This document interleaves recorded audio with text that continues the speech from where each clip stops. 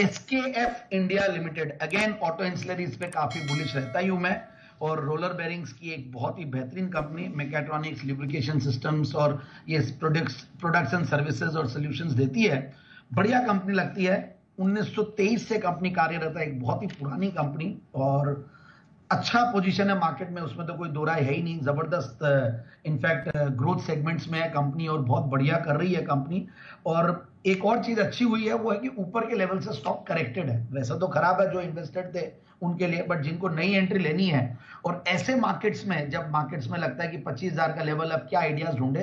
तो कुछ आइडियाज़ ऐसी है और उनमें से एक है, जहाँ पे आपको रिस्क रिवॉर्ड रेशियो बहुत बढ़िया मिलेगा। अपने 200 डेमास के आसपास ये स्टॉक है, नीचे से रिकवर कर रहा है। तो मुझे लगता है एक बहुत बढ़िया स्टॉक है फंडामेंटल्स तो इनफैक्ट बहुत बढ़िया, इतनी पुरानी कंपनी स्वीडिश कंपनी 30 का रिटर्न ऑन कैपिटल एम्प्लॉयड 22 का रिटर्न ऑन इक्विटी पिछले तीन साल में प्रॉफिट की क्या अगर 23 परसेंट डिविडेंड डील ढाई परसेंट क्वार्टरली रिज़ल्ट ठीक ठाक बोलूँगा 155 करोड़ के सामने 160 करोड़ का पैट था थोड़ा सा मार्जिन थोड़ा कम हुआ था बट टॉप लाइन बढ़ के आई है।